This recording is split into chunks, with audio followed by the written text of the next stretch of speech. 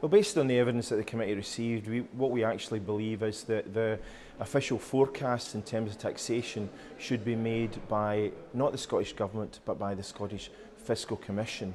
Uh, and we also think that what is important is that the Fiscal Commission's powers are actually widened uh, so that they can actually look at the sustainability of the public finances and the government's adherence to its own fiscal rules in the months and years ahead.